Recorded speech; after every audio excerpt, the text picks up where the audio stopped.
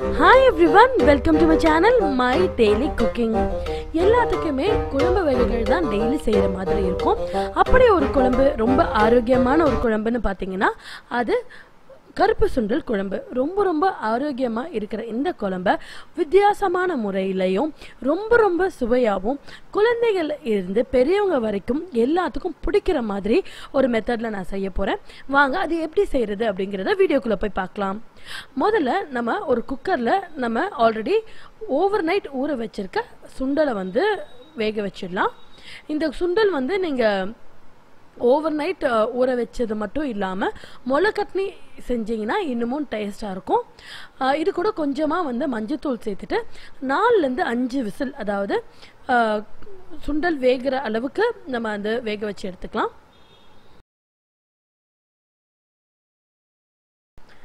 நாலஞ்சு சவுண்டு விட்டதுக்கு அப்புறமேட்டு நல்லா வந்து சுண்டல் வெந்துடும் அதை நம்ம தனியாக எடுத்து வச்சுட்டு குழம்பு தாளிக்கலாம். அதுக்கு ஒரு பாத்திரத்தில் நாலுலேருந்து அஞ்சு டேபிள் ஸ்பூன் அளவுக்கு நல்லெண்ணெய் சேர்த்து அது நல்லா சூடான உடனே கால் டேபிள் ஸ்பூன் அளவுக்கு கடுகு ஒரு கைப்பிடி அளவுக்கு பொடியாக நறுக்கின கருவேப்பிலை இலைகளை சேர்த்து அது பொரிஞ்ச உடனே ஒரு பெரிய வெங்காயத்தை நல்லா இந்த மாதிரி பொடியாக நறுக்கிக்கலாம். வெள்ளை வெங்காயமாக இருந்தால் கண்டிப்பாக யூஸ் பண்ணுங்கள் இந்த குழம்புக்கு அது ரொம்ப ரொம்ப சுவையாக இருக்கும். சப்போஸ் உங்ககிட்ட வெள்ளை வெங்காயம் இல்லை அப்படின்னா ஒரு வெங்காயம் ஒரு ஆறு ஆறுலேருந்து ஏழு பல்ல அளவுக்கு பூண்டை வந்து இந்த மாதிரி பொடியாக நறுக்கி போட்டுக்கோங்க. இப்போ கூடவே ஒரு மூணு தக்காளியை நல்லா மீடியம் சைஸ் தக்காளியை பொடியாக நறுக்கி வச்சுருக்கேன்.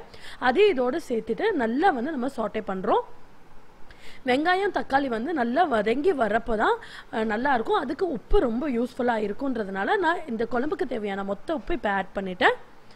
நல்லா இது வந்து ஒரு ஆறுலேருந்து ஏழு நிமிஷம் நம்ம சாட்டே பண்ணிடலாங்க.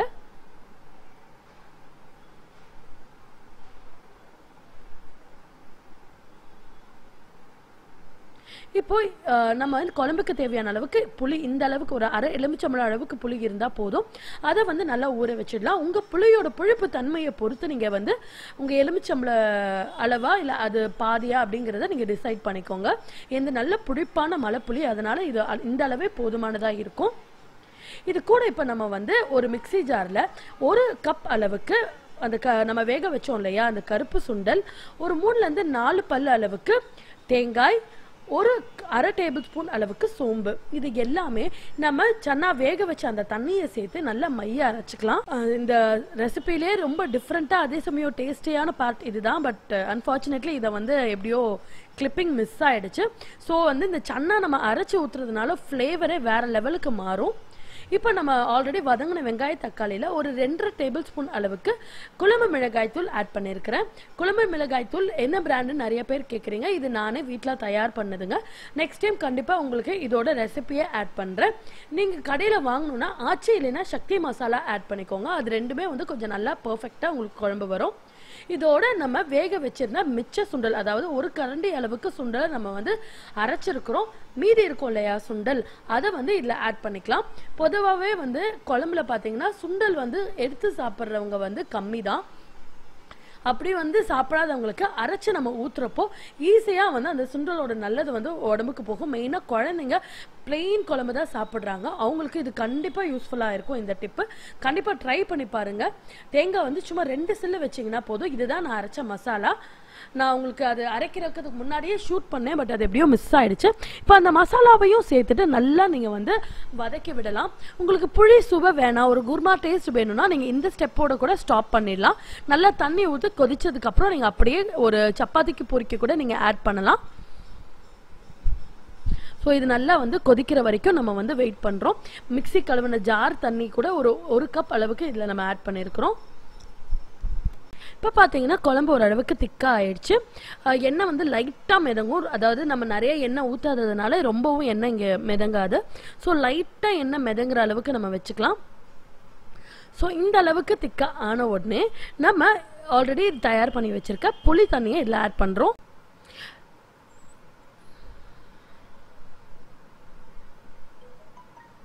நல்லா புளி தண்ணி திக்காக இருக்கிறது ரொம்ப முக்கியங்க. அப்போ தான் வந்து நமக்கு வந்து அந்த புளிப்பு சுவை நிறையா இருக்கும். நிறைய பேர் பார்த்தீங்கன்னா அது அப்படியே தண்ணியாட்ட ஆக்கிடுவாங்க ஸோ அந்த மாதிரி இல்லாமல் நல்லா திக்கான புளி தண்ணி நீங்கள் யூஸ் பண்ணீங்கன்னா தான் குழம்பு ருசிக்கும். ஸோ இது ஒரு பெரிய டிப்பாகவே நீங்கள் எடுத்துக்கலாம். இப்போ நல்லா வந்து நம்ம இதை கலந்து எடுத்துக்கலாம். புளி தண்ணி சேர்த்துட்டு ஒரு பத்து நிமிஷம் வரைக்கும் நம்ம கொதிக்க விடணும். அப்போ தான் புளியோட பச்சை வாசனை போகும். பத்து நிமிஷம் குழம்பு நல்லா கொதிச்ச உடனே நான் ஸ்டவ் ஆஃப் பண்ணி வச்சுட்டேங்க. சாப்பிட்றதுக்கு ஒரு அஞ்சு நிமிஷத்துக்கு முன்னாடி திருப்பி நான் வந்து குழம்பு சூடு பண்ணுறேன் அது எதுக்குன்னா ஒரு மேஜிக் டச் ஆட் பண்ணுறதுக்கு தான். இப்போ பாருங்கள் குழம்பு வந்து ரொம்ப கொதிக்க வேணாம் அந்த டைமில் நல்லா சூடாகி அந்த நுர கட்ட ஆரம்பிக்கிற வரைக்கும் நம்ம வெயிட் பண்ணுறோம் இப்போ ஒரு ஒன்றரை டேபிள் ஸ்பூன் அளவுக்கு ரசப்பொடியை இதில் சேர்த்துறோம். என்னடா ரசப்பொடியாக நீங்கள் நினைக்கலாம் but trust me friends try பண்ணுங்கள் சுண்டல் குழம்புல ரசப்பொடி மேலே போட்டிங்கன்னா அதோட டேஸ்ட்டு ரொம்ப ரொம்ப அபாரமாக இருக்கும். கண்டிப்பாக மறுபடியும் மறுபடியும் இதே மாதிரியான குழம்பு தான் நீங்கள் வைப்பீங்க. இது வந்து ஒரு கேம் சேஞ்சராகவே இருக்கும். நல்லா அந்த ரசப்பொடி கலந்து ஒரு ஒரு நிமிஷம் கொதிச்சா போதும். அதுக்கு மேலே கொதிச்சிங்கன்னா அந்த ஃப்ளேவர் போயிடும். அதனால தான் நான் சர்வ் பண்ணுறதுக்கு முன்னாடி மட்டும் இந்த மாதிரி பண்ணேன். குழம்பு வந்து ஒரு கலந்து ஒரு ஒரு ரெண்டு கொதி லைட்டாக அந்த நம்ம ரசம் எப்படி கொதிக்க விடுவோம்? அதே மாதிரி கொதிச்சா போதும். எங்கிட்ட கொத்தமல்லி இலைகள் இல்லை. அப்படி இருந்திருந்தால் நீங்கள் மேலே கொஞ்சம் தூவி விட்டுக்கலாம். அவ்வளோதாங்க ரொம்ப ரொம்ப ரொம்ப சுவையான கருப்பு சுண்டல் குழம்பு ரெடி ஆயிடுச்சு. வித்தியாசமான முறையில் நம்ம செஞ்சுருக்கிறோம். ட்ரை பண்ணி பாருங்கள் ரொம்ப ரொம்ப சுவையாக இருக்கும். செய்கிற மெத்தடும் பார்த்தீங்கன்னா ரொம்ப ஈஸி தான். நம்ம கருப்பு சுண்டல்லாம் அரைச்சி விட்டுருக்கிறதுனால அதோட ஃப்ளேவரே வந்து வேறு என்ஹான்சிங் லெவலாக இருக்கும். அதே சமயம் ரசப்பொடி போட்டிருக்கிறதுனால அந்த மிளகு சுவை அந்த ரசப்பொடியில் இருக்கக்கூடிய சீரக சுவை எல்லாமே நல்லா இருக்கும். உங்களுக்கு ரசப்பொடியோட லிங்க் வேணும்னா நான் கீழே டெஸ்கிரிப்ஷன் பாக்ஸ்லயோ இல்லை மேலே ஐ பட்டன்லயோ வைக்கிறேன். செக் பண்ணி பார்த்துக்கோங்க. கண்டிப்பாக இந்த வீடியோ உங்களுக்கு பிடிச்சிருக்கும் அப்படின்னு நம்புறேன். பிடிச்சிருந்தா லைக் பண்ணுங்க ஷேர் பண்ணுங்க கமெண்ட் பண்ணுங்க. உங்களுக்கு வேற என்ன மாதிரி குழம்பு வகையிலோ இல்லை ரெசிபிஸோ இல்லை வேற ஏதாவது ஒரு வீடியோ ரெக்வெஸ்ட் இருந்ததா கண்டிப்பாக கீழே இருக்க கமெண்ட் பாக்ஸில் உங்களோட காமெண்ட்ஸை பதிவு பண்ணுங்கள் நன்றி. மீண்டும் ஒரு நல்ல வீடியோவில் உங்களை மறுபடியும் சந்திக்கிறேன். நீங்கள் நம்ம சேனலுக்கு புதுசாக இருக்கிறீங்கன்னா மறக்காமல் சப்ஸ்கிரைப் பண்ணிக்கோங்க. பக்கத்தில் இருக்க நோட்டிஃபிகேஷன் பெல் பட்டனையும் கிளிக் பண்ணுங்கள் அப்போ தான் ஒவ்வொரு தடவையும் நான் ஒரு வீடியோ அப்லோட் பண்ணுறப்போ உங்களுக்கு நோட்டிஃபை ஆகும்.